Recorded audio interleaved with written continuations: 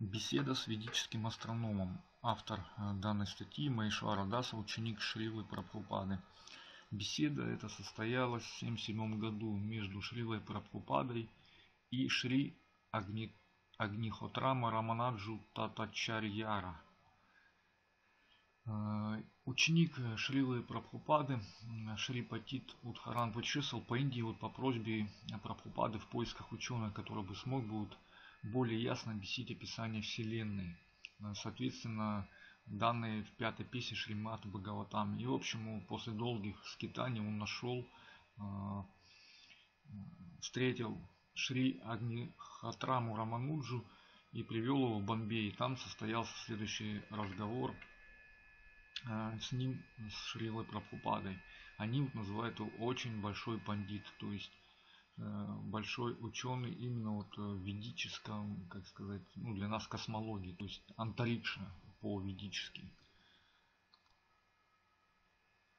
Э, сам Шрила Прабхупада считался не совсем компетентным в этом вопросе.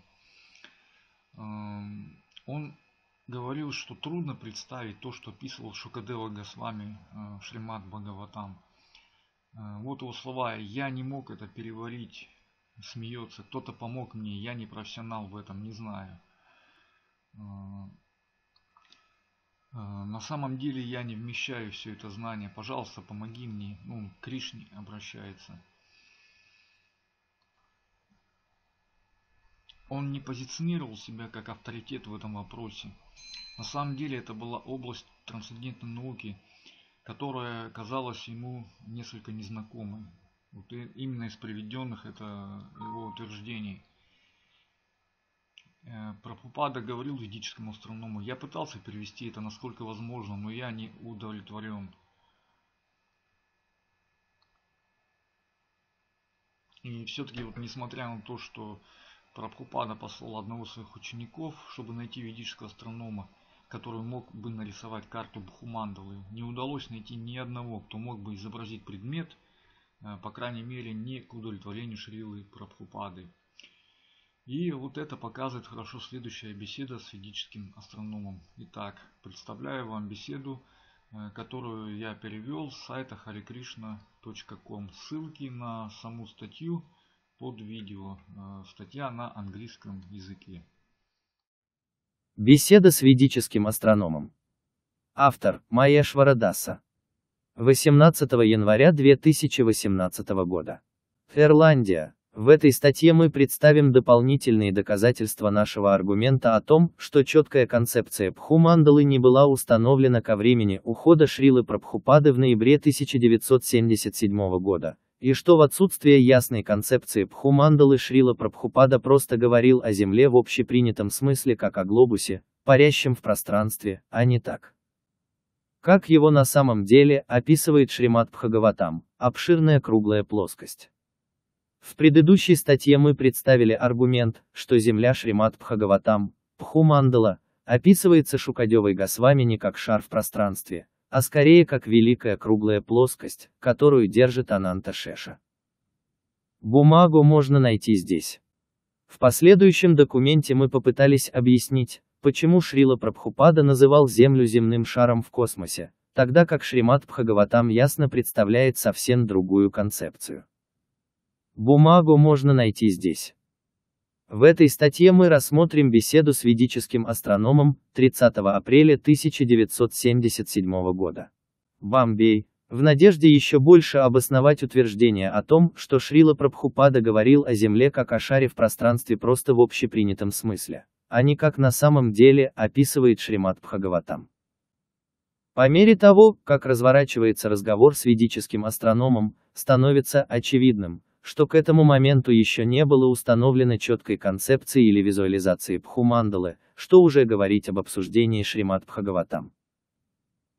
Понятие Земли по отношению к современному представлению. Несоответствие между этими двумя мировоззрениями лишь позже было поднято как проблема в дискуссиях об Хуманделя 2-5 июля 1977 года, в Риндаван. Мы рассмотрим эти обсуждения в следующей статье. Через некоторое время после завершения перевода пятой песни в 1975 году Шрила Прабхупада разработал идею представить ведический космос в планетарии в Майяпуре в Индии. Во время беседы на утренней прогулке с доктором Пателем 7 ноября 1975 года Шрила Прабхупаду упоминает об идее организовать выставку, изображающую планеты в соответствии с описанием Шримад Бхагаватам. Шрила Прабхупада. Но идея была в том, что я хотел показать в нашем большом храме. Бхагавата, а, вы не хотели отдельное здание. Шрила Прабхупада нет. Мы хотели показать, где находится. Планета Вайкунтха, где планета Галока, где этот материальный мир, таким образом. Так что я думаю, что в соответствии с нашим первоначальным планом у нас будет храм, и в этом храме мы выставим всех этих кукол. Вот Вайкунтха-лока, вот это лока, это лока, это лока. Утренняя прогулка, 7 ноября 1975 года, Бомбей, опять же через несколько месяцев, Шрила Прабхупада. Из Бхагаватам, так что об этом следует упомянуть. Это не только храм, но и планетарий согласно Бхагаватам, где находится какая планета, где Вайкунтхалока, где Галока Вриндавана, где Махар. Преданные, ух ты! Тамала Кришна, вам нужен настоящий планетарий, как на Западе. Джея это то, что я им сказал, Шрила Прабхупада. Шрила Прабхупада, да. Джея Это не храм, это как бы большая культурная экспозиция, музей, планетарий. Шрила Прабхупада, да. Утренняя прогулка, 9 февраля 1976 года, Майяпур, очередной раз, преданный, четвертое. Храм и планетарий. Шрила Прабхупада Да. Преданный, четвертое. Самый большой в мире планетарий и храм понимания. Шрила Прабхупада, никакого понимания, просто ведический храм ведического планетария. Вот и все. Мы покажем ведическую концепцию планетной системы в этом материальном мире и над материальным миром. Обрыв мы собираемся демонстрировать ведическую культуру всему миру, и они придут сюда. Джея весь мир приедет сюда, чтобы... Шрила Прабхупада да. Джея Посети. Шрила Прабхупада, так же как они приходят посмотреть на Тадж-Махал. Хридаинанда да. Шрила Прабхупада. Архитектурная культура. Они придут посмотреть на культуру цивилизации, философскую культуру, религиозную культуру посредством практических демонстраций с куклами и другими вещами. Джея Патака. И мы будем рекламировать это по всему миру. Шрила Прабхупада да. Хридаинанда – это идеальный план. Шрила Прабхупада да. Джея модель этого храма может быть в каждом храме по всему миру. Шрила Прабхупада да. Джея тогда люди могут. Затем реклама, иди сюда. Шрила Прабхупада, о да. На самом деле это будет уникальная вещь в мире. Такого нет во всем мире. Что мы и сделаем. И не просто показывать музей, а приучать людей к этой идее. Хридаинанда, проповедь. Шрила Прабхупада, верно. С фактическими знаниями, книгами, а не выдуманными. Конец. Утренняя прогулка, 27 февраля 1976 года. Майяпур, азарт и революционный дух тоже отчетливо различимы. Сацварупа. Шрила Прабхупада, планеты имеют форму шаров или больше похожи на тарелки. Потому что это трудно понять, потому что они называются двипа, острова. Их округлость, округлость тарелки или как у шара. Шрила Прабхупада, какой? Сацварупа земля. Шрила Прабхупада, если это похоже на дерево, тогда эти вещи могут быть как Двипа, остров. Тамала Кришна, вау. Вы знаете. Шрила Прабхупада А. Тамала Кришна. Ваше заявление разносит ученых в дребезги, Шрила Прабхупада. Это разрушает всю их теорию. Орбы, круглые сферы. Я думаю, что в этом здании Маипуры мы должны построить в нем большой планетарий. Шрила Прабхупада да. То, что я собираюсь сделать, ведический планетарий. Тамала Кришна. О мальчик. Вы собираетесь принести много. Многие ученые приедут сюда только для того, чтобы оспорить это. Шрила Прабхупада да. Пушта Кришна. Замечательная достопримечательность. Шрила Прабхупада, люди мира придут, чтобы увидеть, как планетарные системы. Тамала Кришна, мы должны очень широко рекламировать это, что это действительное, фактическое объяснение Вселенной. Шрила Прабхупада, это будет автоматически рекламироваться. Как только храм будет закончен, Люди придут, как ни крути. Хари Шиури им понадобится кто-то. Шрила Прабхупада. Суть в том, что в принципе мы будем идти только против них. Хамсадута, наоборот. Шрила Прабхупада, принципиально. Что бы они ни говорили да, мы говорим нет. Смех. Утренняя прогулка, 18 марта 1976 года, Майпур, мы подробнее обсудим приведенное выше обсуждение в следующей статье, так как она содержит много интересных моментов. Несомненно важно, что в ответ на вопрос Сацварупы Госвами о форме Земли, круглый ли она как тарелка, или круглый, как шар, Шрила Прабхупада отвечает, говоря, все это может быть как двипа, имея в виду, что Земля круглая как двипа, остров, а не круглый, как шар. Ответ Тамала Кришны Госвами показывает быстрое и четкое понимание значения ответа Прабхупады для концепции земного шара. Ученых разносят в дребезги ваши заявления, Шрила Прабхупада. Это разрушает всю их теорию. Орбы, круглые сферы. Наша Земля, по факту, или остров Пхумандала под названием Джамбудвипа, она описывается не как планета, плавающая в космосе, а лишь как небольшая часть большой Земли, которая окружает нас со всех сторон. Несмотря на приведенное выше заявление Шрилы Прабхупады, по-видимому, серьезного обсуждения этого вопроса не было до обсуждения Пхумандалы в июле 1977 года. Примечательно, что во время этих обсуждений именно Тамала Кришна Госвами снова представляет Шриле несоответствие между двумя мировоззрениями. Шрила Прабхупада, Тамала Кришна, посмотрите на Землю. Теперь, это реальный вопрос, на который нам еще предстоит ответить. Они изображают Землю круглой, а мы говорим, нет. Пхумандала похожа на лотос. Вот так, а Земля, это только часть одного острова в Пхумандале, и она не понимаете, не круглая. Это не похоже на это. И все фотографии, которые они делают на Земле, когда поднимаются на своих спутниках, показывают круг. И мы скажем им, что это не. Шрила Прабхупада, так вы думаете об этом? Бхакти Према, в Шримат Бхагаватам. Согласно Шримат Бхагаватам, это неразборчиво. Шрила Прабхупада, узнайте с нашей стороны, согласно Бхагаватам.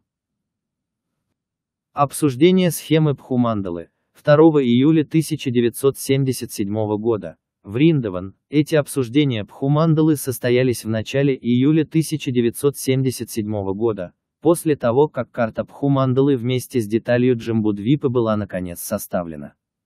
Эти карты были некоторое время в процессе создания.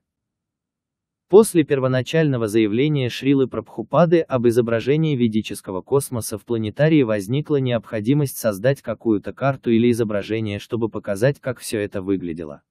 Любой, кто читал пятую песнь, оценит, как трудно понять, как выглядит Пхумандала или что вообще означает ее описание. Похоже, что Шрила Прабхупада не смог сам создать эти изображения или карты и попросил одного из своих учеников найти ведического астронома, который мог бы помочь создать необходимые изображения. Тамала Кришна Госвами описывает эту историю следующим образом. Некоторое время Шри Патитут Харан путешествовал по Индии по просьбе Шрилы Прабхупады в поисках ученого, который смог бы более ясно объяснить описание Вселенной, данное в пятой песне Шримад Бхагаватам. Шрила Прабхупада сказал, что он сам пытался сделать это как можно более ясным, но все равно не был удовлетворен. Он хотел, чтобы диаграмма работающей модели была включена в планетарий в Майяпуре. В Мадрасе Патит встретил Шри Агнихатрама Рамануджу Татачарьяра и привел его в Бомбей, утверждая, что он самый квалифицированный. Дневник Ткак. Последние дни Прабхупады, 1 мая 1977 года, перед встречей Тамала Кришна Госвами объяснил некоторым ученикам, Шрила Прабхупада, придет один очень большой пандит. Он поможет нам с санскритом, как составить это. Тамала Кришна, планетарий. Шрила Прабхупада.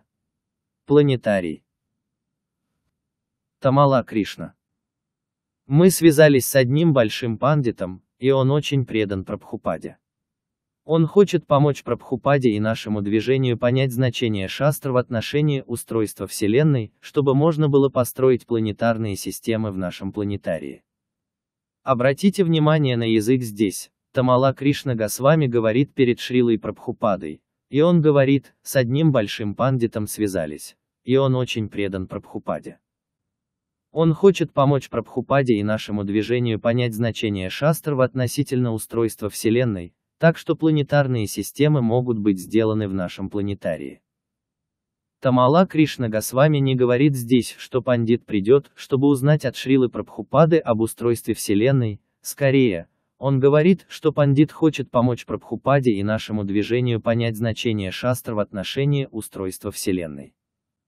Конечно, у пандита, как и у всех остальных в мире, было все, что можно было узнать от Шрилы Прабхупады о преданности Кришне, но по этому конкретному аспекту ведической космологии Шриле Прабхупаде требовалась некоторая техническая информация, с которой он сам не был знаком. Иначе почему бы Шриле Прабхупаде молча соглашаться с таким утверждением Тамалы Кришны Госвами? Естественно, потому что Тамала Кришна Госвами просто информирует других преданных о том, что Шрила Прабхупада явно требовал от ведического астронома. Можно возразить, что Шрила Прабхупада сам перевел пятую песню и ознакомился с комментариями предыдущих ачарьев, так что, очевидно, он был осведомлен о том, что было описано, а также о понимании ученической преемственности.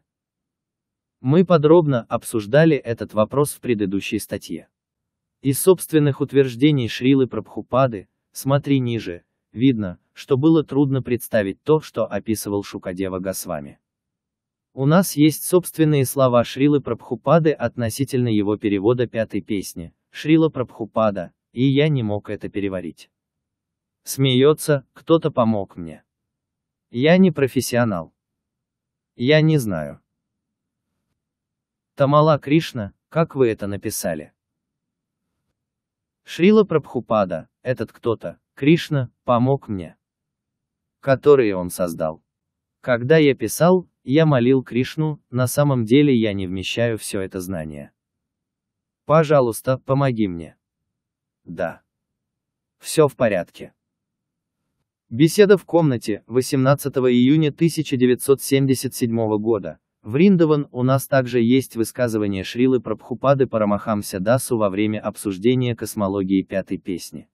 Следующий отрывок взят из великого трансцендентного приключения Курмадаса. Позже в своей комнате Шрила Прабхупада больше обсуждал с Парамахамсой ведическую космологию. Шрила Прабхупада сказал, что все различные орбиты планет независимы, так называемый закон гравитации как таковой не упоминается в ведической литературе. Прабхупада ответил на несколько вопросов.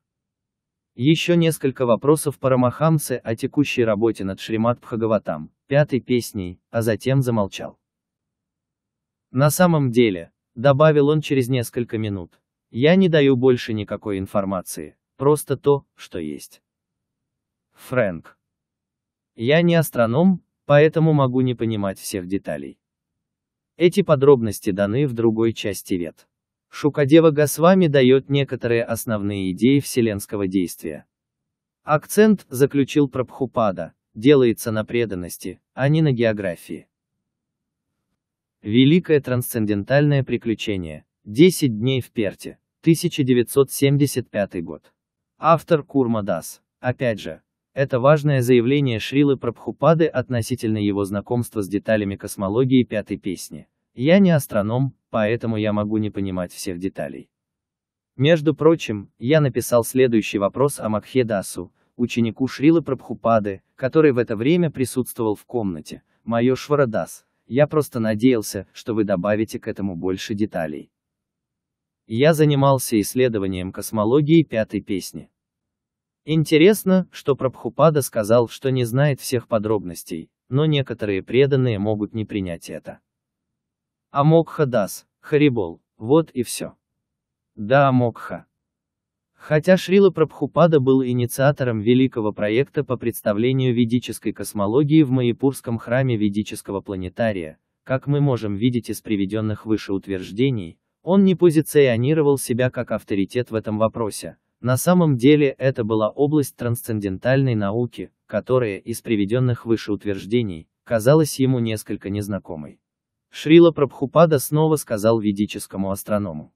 Шрила Прабхупада, я пытался перевести это насколько возможно, но я не удовлетворен. Беседа с индийским астрономом 30 апреля 1977 года, Бомбей, почему Шрила Прабхупада не был удовлетворен.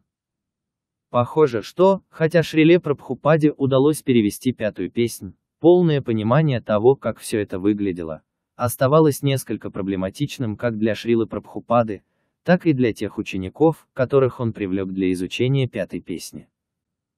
По словам Тамалы Кришны Госвами, сказанным в июле 1977 года, всего за несколько месяцев до ухода Шрилы Прабхупады, пятая песня была загадкой для всех, Тамала Кришна Госвами. Итак, я думаю, что эти рисунки помогут Сварупе Дамадаре, когда придут люди. Потому что он сказал, что хоть они и ученые, они не могут понять этот том. Это было практически загадкой. Эти рисунки один за другим должны помочь в создании планетария. Шрила Прабхупада. Большое спасибо. Хари Кришна. Обсуждение схемы Пхумандалы, 2 июля 1977 года. Вриндаван, то, что Пхумандала была практически мертвой концепцией в Индии, подтверждается тем фактом, что, несмотря на то, что Шрила Прабхупада послал одного из своих учеников по Индии, чтобы найти ведического астронома, который мог бы нарисовать карту Пхумандалы, не удалось найти ни одного, кто мог бы изобразить предмет, по крайней мере, не к удовлетворению Шрилы Прабхупады. Как показывает следующая беседа с ведическим астрономом, Шрила Прабхупада, итак, мы представляем этот планетарий. Индийский астроном, Бхагавата, да. Шрила Прабхупада из Бхагаватам. Индийский астроном, да, да. Шрила Прабхупада, в пятой песне есть описание планетной системы. Индийский астроном, да, да. Шрила Прабхупада, итак, нам нужна диаграмма. Индийский астроном, да, да. Шрила Прабхупада, пожалуйста, помогите нам. Шрила Прабхупада, Хари Кришна. Теперь узнаете, что пятая песня. Итак, эта планетная система висит. Индийский астроном, да. Шрила Прабхупада, Иртхвамулам Адхах Сакхамбага. 15,1. То же самое объясняется в Шримат Бхагаватам. Теперь о том, как он висит, и где различные положения планет, плато и холмов, и... Что касается книги, пожалуйста, сделайте схему, чтобы мы могли ее выполнить. Шрила Прабхупада. Сразу же нам нужна диаграмма, как это исправить, чтобы люди могли видеть, такова ситуация. Итак, вы делаете эту схему. Индийский астроном – это первая попытка представить идеи Бхагаватам. Шрила Прабхупада да. Итак, мы. Мы. У нас есть очень хороший план, чтобы люди со всего мира приезжали, чтобы увидеть ведическую идею планетарной системы. Это амбиции. Так что вы, пожалуйста, помогите нам. Давайте осознавать здесь то, что требует Шрила Прабхупада. Он просит ведического астронома создать визуальное представление ведического космоса, чтобы его можно было изобразить в трехмерной форме внутри главного купола храма ведического планетария, далее сокращенно ЭХВП. Такого изображения никогда раньше не создавалось, по крайней мере, в современном мире. Никто в Индии или где-либо в современном мире не имел ни малейшего представления о том, как выглядела вселенская форма. Как говорит астроном, это первая попытка изобразить в картинках идею Бхагаватам, так что нет вины Шрилы Прабхупады в том, что он не знал, как выглядит Бхумандала.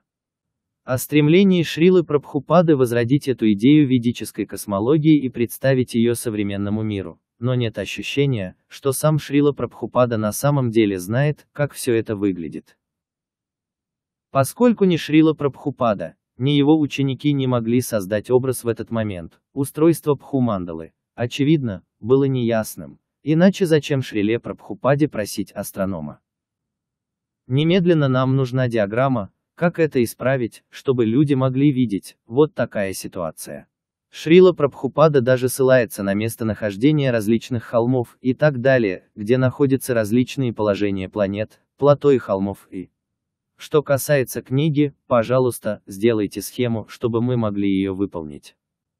Холмы, о которых идет речь, на самом деле являются великими горами Пхумандалы, такими как Меру, Манасатара и Лакалока, высотой и шириной в сотни тысяч миль. Шрила Прабхупада явно не понимал, где находятся эти фантастические особенности Пхумандалы, и иногда просто описывал их как особенности других планет.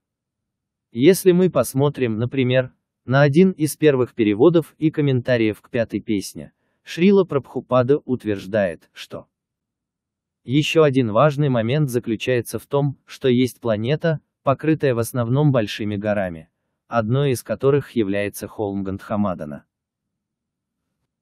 Комментарий к ШБ 5,1. Восьмое. Однако холм Гандхамадана находится не на другой планете. Он находится в другой части этой Земли. Описываемая здесь Земля – это не так называемый земной шар, а скорее первый остров на обширной круговой плоскости – Пхумандала. Гора Гандхамадана расположена на восточной стороне Илавртаварши на материковой части Джамбудвипы.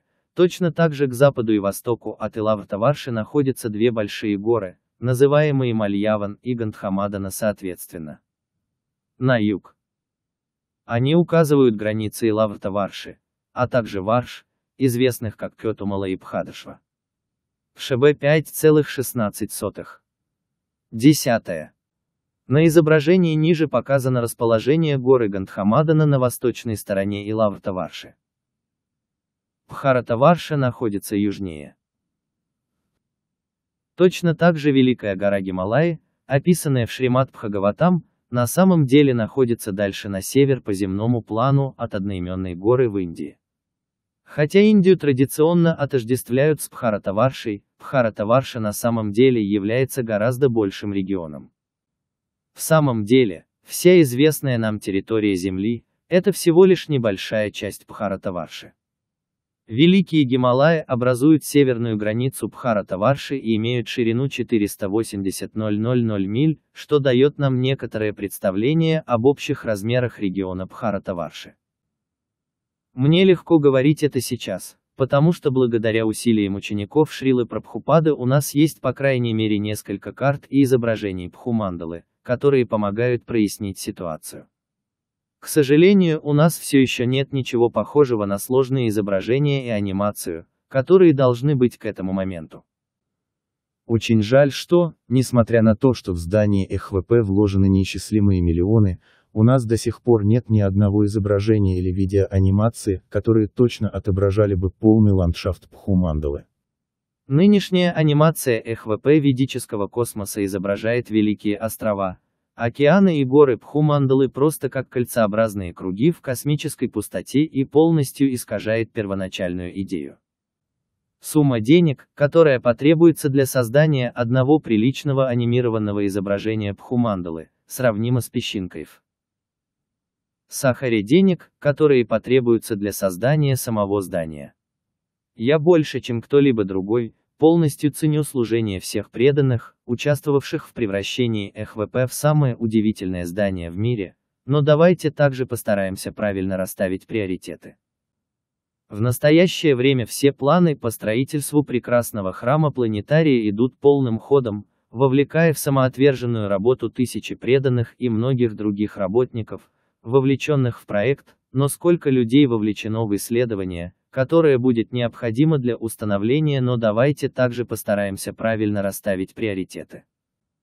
В настоящее время все планы по строительству прекрасного храма планетария идут полным ходом, вовлекая в самоотверженную работу тысячи преданных и многих других работников, вовлеченных в проект, но сколько людей вовлечено в исследование, которое будет необходимо для установления, но давайте также постараемся правильно расставить приоритеты.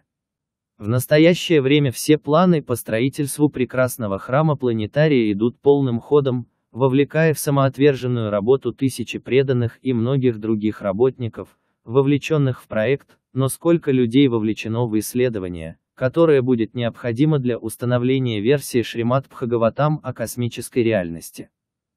Понимают ли сотрудники ХВП Пхумандалу?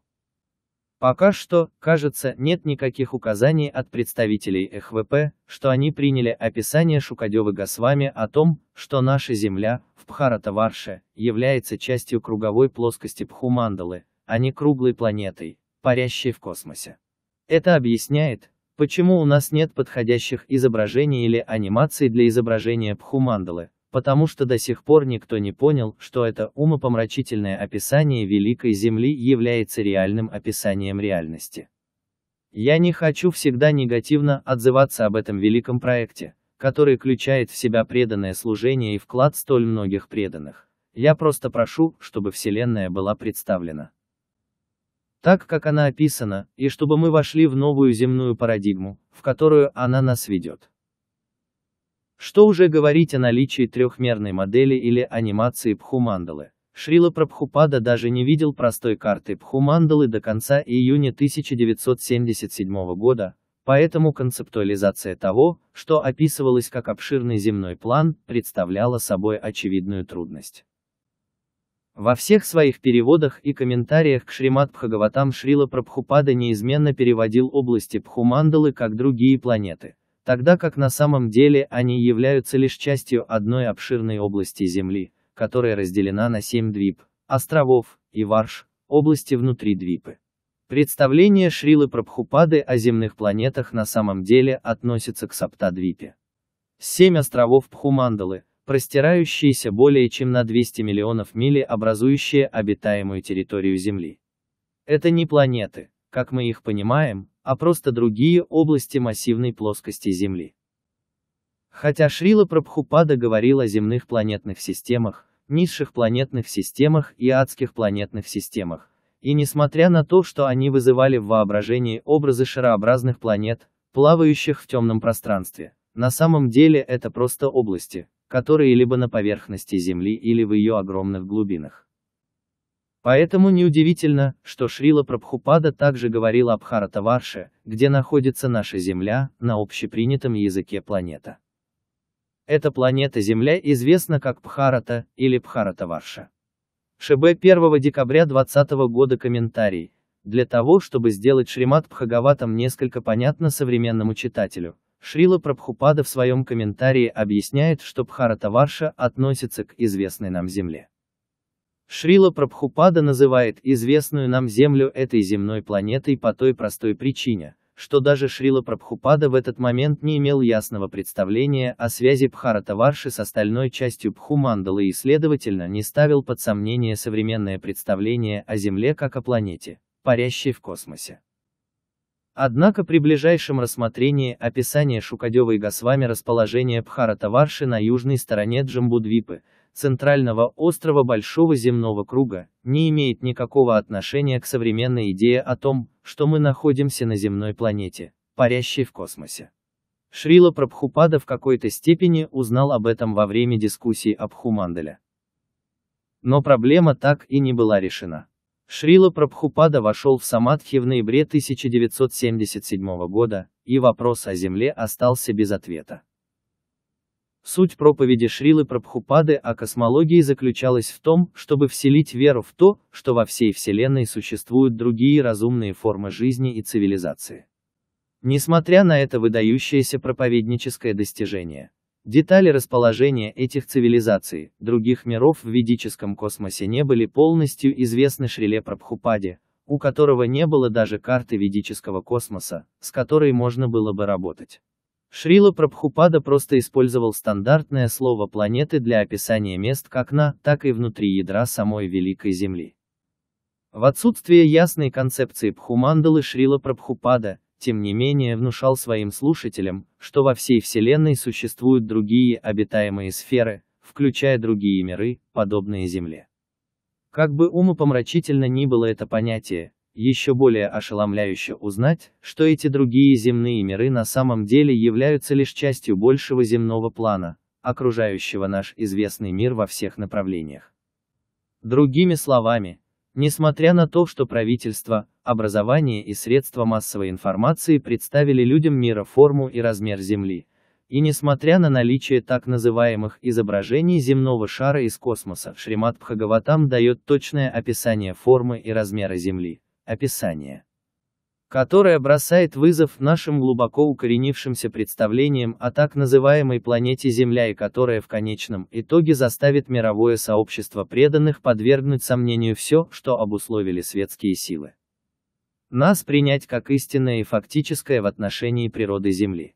Это, конечно, имеет далеко идущие последствия не только для понимания демонической природы и целей тех же светских сил, но и для того, чтобы остановить эти силы, бесстрашно проповедуя послание Шримат Бхагаватам.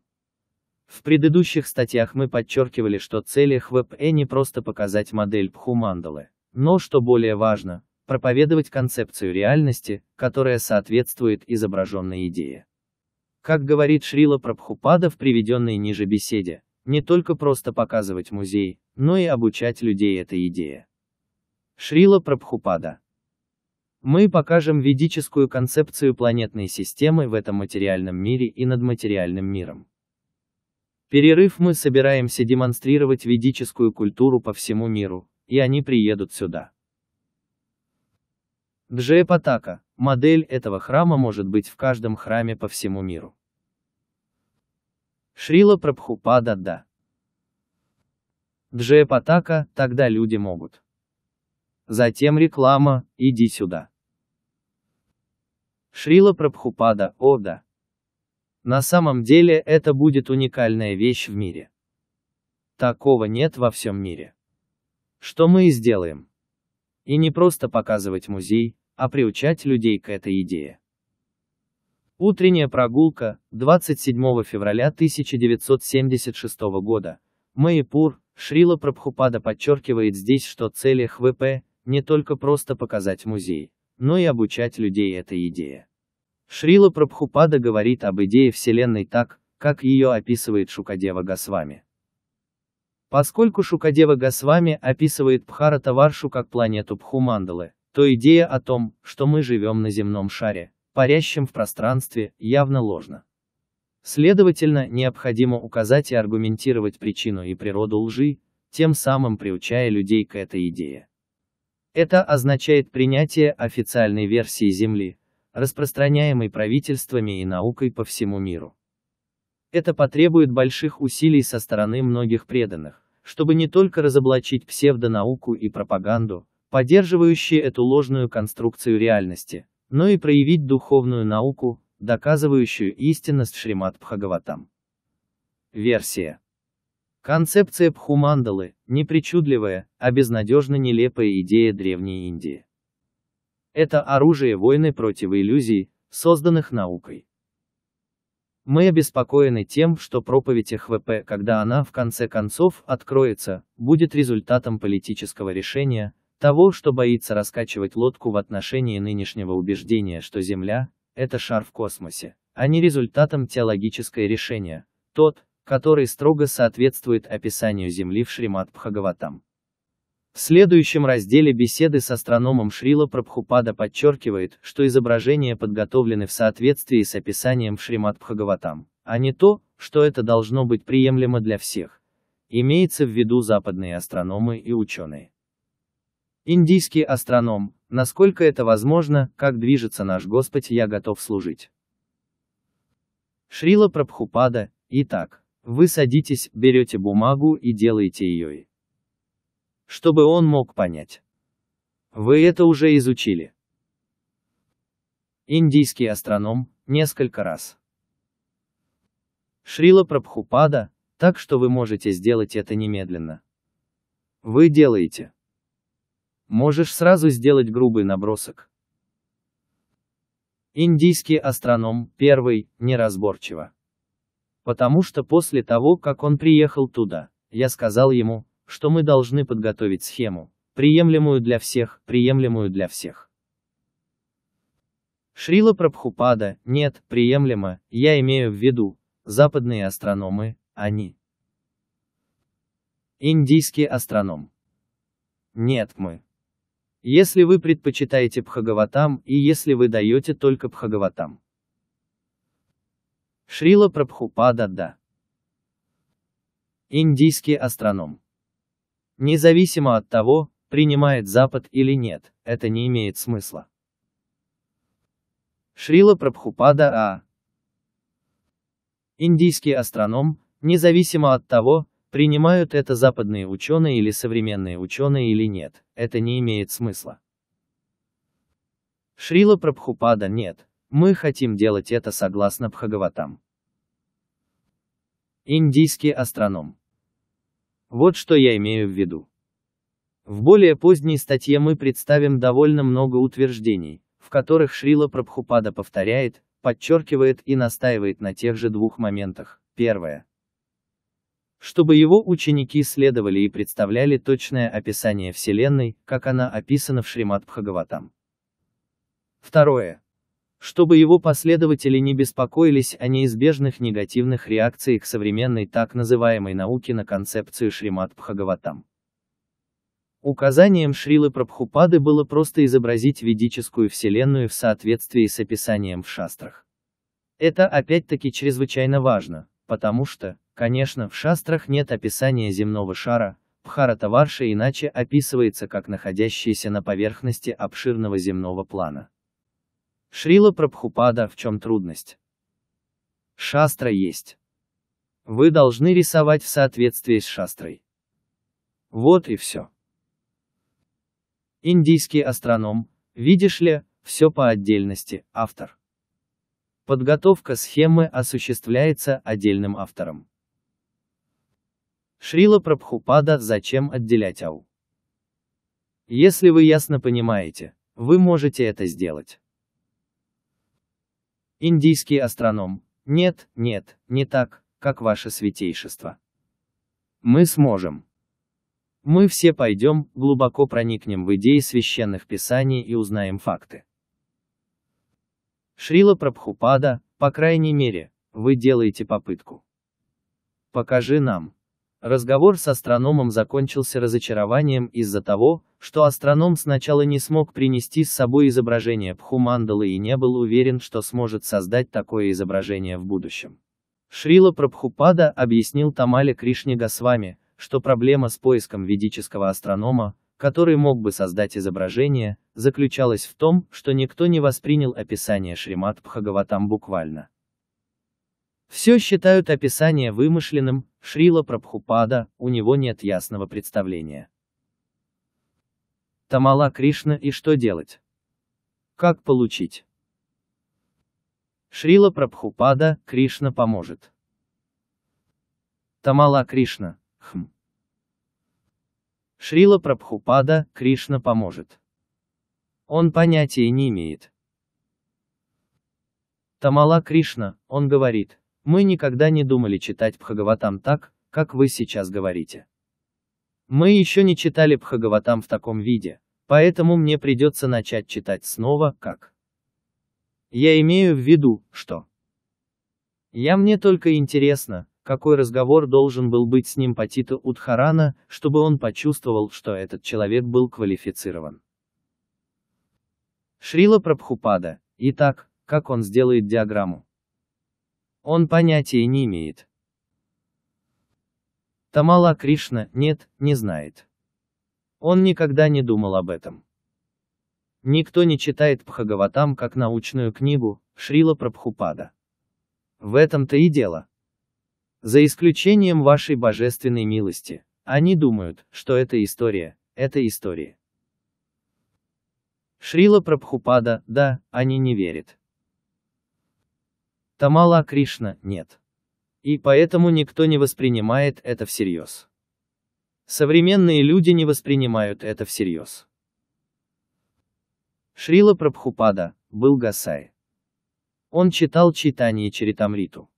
Итак, описание планетарной системы есть. Он обычно говорил своим слушателям, на самом деле этих вещей нет. Это воображаемые описания. Он был таким дураком. Итак, Весь мир воспринял это как символическое воображение. Тамала Кришна, и он читал лекции по читании Чаритамрите. Я думаю, вы упомянули, что один из ваших духовных братьев однажды сказал вам, вы действительно верите, что есть такое место, Кришналока, Вайкунтхалока. Он был самим собой. Шрила Прабхупада, Бон Махарадж не верил. Нет. Никто никогда не думал об этом. Тамала Кришна, вы единственный представитель, единственный представитель религии, оставшийся на этой планете, Шрила Прабхупада. Беседа с астрономом 30 апреля 1977 года, Бомбей, это важный момент для понимания. Каким бы фантастическим это ни казалось, Описание Земли в Шримат Бхагаватан должно быть принято последователями Кришны как реальное, а не как метафорическое или мифологическое, как некоторым хотелось бы представить. Даже преданные становятся жертвами такого мышления и предпочитают верить в концепцию земного шара, несмотря на то, что Шримат Бхагаватам представляет совершенно иное описание реальности. Случай создания карт для Бхумандалы описан в Лиламрите следующим образом. Одной из тем, которыми занимался Шрила Прабхупада в эти дни, была концепция модели Вселенной для ведического планетария. Его ученик Амбариша, правнук Генри Форда, пообещал пожертвовать на строительство великолепного музея-планетария в крупном городе, таком как Детройт или Вашингтон, округ Колумбия. Шрила Прабхупада хотел представить структуру Вселенной так, как она представлена в пятом канту, но до сих пор никто не смог показать, как это можно сделать. Преданные, которые пытались примирить описание Шримат Бхагаватам с представлениями современной астрономии, часто оказывались сбиты с толку. В Бомбее к Прабхупаде привели так называемого ведического астронома, но он не смог составить даже простую диаграмму. Современные ученые не верят тому, что в Бхагаватам Земля описывается как Джамбудвипа, остров посреди концентрических океанов и островов. Ученые также не находят горы такой высоты, как те, что описаны в ведической литературе. Однако Шрила Прабхупада предостерегал преданных не руководствоваться своими собственными западными предрассудками, а пытаться понять Вселенную так, как она описана в Бхагаватам, а это было крайне сложно. Шрила Прабхупада признался, когда я писал это, я думал, что это будет невозможно для меня, если мне не поможет кто-то другой. «Как ты это написал?» — спросил Тамала Кришна, и Шрила Прабхупада ответил, Кришна помог мне. «Я не знаю». Он рассмеялся. Кто-то, Кришна, помог. Преданные неизбежно спросили, но как мы объясним это ученым? Нам не нужно удовлетворять ученых. ответил Шрила Прабхупада. Мы должны описывать в соответствии с шастрами. Если они смогут это понять, тогда они это поймут. В противном случае не наше дело удовлетворять так называемых ученых. Мы имеем дело с настоящим описанием. Тамала Кришна предположил, что планетарий станет крахом западной цивилизации. «Да», — сказал Прабхупада, — «я хочу разоблачить, что они обманывают. Их единственный интерес – зарабатывать деньги, и для этого они обманывают. Если вы сможете построить этот планетарий, это будет грандиозный успех, триумф. Шрила Прабхупада Лиламрита, том 6. Объединение двух миров. Возвращение во Вриндаван, 1975-1977. СПЛ-52 Я выполнил свою часть. После разочарования в астрономии из Южной Индии Шрила Прабхупада снова предложил своим ученикам разместить в газетах объявление о помощи ведических астрономов, Шрила Прабхупада. Так что же делать? Он потратил столько денег. Он неправильный человек. Тамала Кришна, нет. Почему бы нам не попытаться найти кого-нибудь здесь, в Бомбее? Шрила Прабхупада, очень сложно. Можешь попробовать. Тамала Кришна, я имею в виду, что он может найти его здесь так же хорошо, как и в любом другом месте. И это ничего не будет стоить. Шрила Прабхупада, астроном, знающий планетарную систему, вы можете рекламировать. Эксперт-астроном, знающий планетные системы, как они описаны. Тамала Кришна в Шримат Бхагаватам. Шрила Прабхупада, хм. Тамала Кришна, да, мы можем рекламировать. Вместо того, чтобы кто-то ездил по всей Индии. Беседа с индийским астрономом 30 апреля 1977 года, Бомбей. Шрила Прабхупада сказал, что Кришна поможет. Шрила Прабхупада, Кришна поможет. Тамала Кришна, Хм. Шрила Прабхупада, Кришна поможет. Он понятия не имеет. Беседа с индийским астрономом 30 апреля 1977 года. Бомбей, из приведенного выше разговора и других процитированных утверждений становится очевидным, что Шриле Прабхупаде было трудно осмыслить описание Вселенной в пятой песне. И поэтому он просил помощи в подготовке карт, изображающих ведическую вселенную. Отсюда и наш аргумент, что в отсутствие ясное представление об Хуманделе, Шрила Прабхупада имел практическое значение. Говоря о Земле в общепринятом смысле как о шаре в пространстве. Какой другой язык или концепцию он мог бы использовать? Несмотря на использование этого языка, мы, тем не менее, можем видеть из многих, многих утверждений, что Шрила Прабхупада настаивал на том, чтобы представить Пхумандалу и остальную Вселенную в соответствии с описанием в Бхагаватам. В любом случае, общим принципом Шрилы Прабхупады было представить Шримат Бхагаватам как он есть, мы учим Бхагават Гити и Шримат Бхагаватам так, как об этом говорят авторитеты. Мы ничего не добавляем и ничего не убавляем. ШБ 1,2, деле, 12 ноября 1973 года. Поэтому Шрила Прабхупада попросил своих учеников тщательно изучить детали пятой песни и представить рабочую модель Вселенной. Письмо Шрилы Прабхупады Сварупи Дамадари Дасу, 27 апреля 1976 года. Расшифровка пятой песни была в основном областью изучения, которую Шрила Прабхупада передал своим ученикам, Затем Шрила Прабхупада выразил свое беспокойство. Мы должны точно следовать описанию Бхагаватам. Поскольку мы собираемся потратить многие кроры рупии найдутся те, кто попытается придраться к нашей презентации, жена Цезаря должна быть вне подозрений.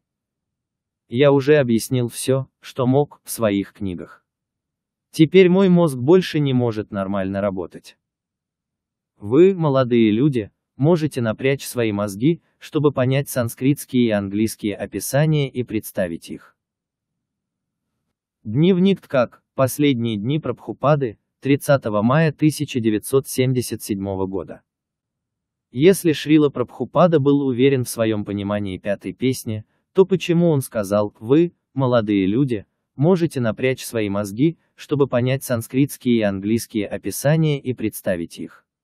Шрила Прабхупада представляет себя здесь образцовым авторитетом, отказываясь размышлять на тему ведической космологии, и вместо этого просит своих младших учеников более глубоко изучить шастры, чтобы удостовериться в истинности вопроса. Летом 1977 года, возможно, понимая, что у него мало времени, Шрила Прабхупада собрал Тамалу Кришну Госвами, Яшаданандану Даса, Бхакти Према Даса и Пушкару Даса, художника, чтобы исследовать пятую песню и составить карту Баху. Мандала, а также для верхней части мироздания при подготовке к проявлению вселенской формы в рамках ХВП. Тамала Кришна Госвами написал в одном письме Хамсадутё Дасу. Может быть интересно узнать, что здесь один Санниси, Пхакти Прем с вами, который также является экспертом по санскриту, и Ешоданандан с вами и я работаем под руководством Шрилы Прабхупады над созданием модели планетария. Тамал Кришна Госвами Хамсадутё, Вриндаван 25 июня 1977 года, Тамала Кришна Госвами упоминает имена и качества некоторых из этих преданных в письме к Рамешваре. Люди, присутствовавшие на этой встрече со Шрилой Прабхупадой, не были обычными преданными. Бхакти Прем Махарадж достаточно хорошо знает санскрит, настолько, что Шрила Прабхупада уверен, что нам не нужно искать санскритского пандита для объяснения того, как работает планетарий. Должен быть устроен в соответствии с Бхагаватам, теперь когда мы его нашли. Доктор Сварупа Дамадар, ученый, и Шрила Прабхупада с большим уважением относятся к его мнению. Я просто негодяй. По крайней мере, мнение первых трех человек ценны. Письмо Рамишваря, 22 июля 1977 года, Хари Шаури описывает этот период следующим образом – Летом 1977 года у Прабхупады было много встреч с ним и Тамалой Кришной Махараджем, чтобы обсудить, как сделать этот ведический планетарий. Было приложено много усилий, чтобы попытаться получить хорошую концепцию того, как это представить. Но они не смогли найти никого, кто был бы в состоянии это сделать, по крайней мере, не к удовлетворению Прабхупады. Так что это был один из тех то, что оставил нам Прабхупада. Интервью с Хари Шауридасом из документального фильма Данавира Госвами «Ведический космос». К их чести, ученики Шрилы Прабхупады смогли самостоятельно подготовить карту Пхумандалы, которая в конце концов была представлена. Шриле Прабхупаде в июне и начале июля 1977 года. Даже начали формироваться ведические и современные представления о Земле. Мы рассмотрим эти обсуждения в следующих статьях. Оригинальные карты, представленные Шрилой Прабхупадой, с тех пор исчезли, но выглядели бы примерно так. Даже с такой картой, как приведенная выше, кому-либо было бы трудно понять, что эти названия, измерения и символы на самом деле показывают, что наша Земля – это не шар в космосе, а всего лишь небольшая часть гораздо большей Земли. Область, которая охватывает центр Вселенной. По одной только карте было бы трудно понять, как она преобразуется в реальный ландшафт, как на изображении ниже. Мы надеемся, что со ссылкой на вышеизложенную историю мы установили, что даже в приведенной выше беседе с ведическим астрономом в апреле 1977 года у Шрилы Прабхупады и его учеников не было даже карты, не говоря уже о каком-то другом изображении, точно передающим представление о земном ландшафте и нашем собственном месте на нем. Таким образом, неудивительно, что на протяжении всей своей проповеди Шрила Прабхупада просто говорил о Земле в общепринятом смысле как о шаре в пространстве, а к другим частям Бхумандалы как к земным планетам или земной планетной системе. При отсутствии ясного представления об Бхумандале, какой другой язык мог он использовать? Незнание Шрилой Прабхупадой природы и расположения Бхумандалы было связано с тем, что все знания об Бхумандале были скрыты и практически забыты до того, как он трансцендентно вдохновил возродить ее в современном мире. В свете этой мощной проповеднической деятельности едва ли можно считать ошибкой Шрилы Прабхупады то, что он говорил о Земле в общепринятом смысле, как о планете, парящей в космосе. Несмотря на то, что Шрила Прабхупада не был знаком со всеми подробностями Бхумандалы, истинная природа формы и размера Земли в конечном итоге станет известна только благодаря собственному стимулирующему вдохновению Шрилы Прабхупады возродить ведическую космологию в современном мире.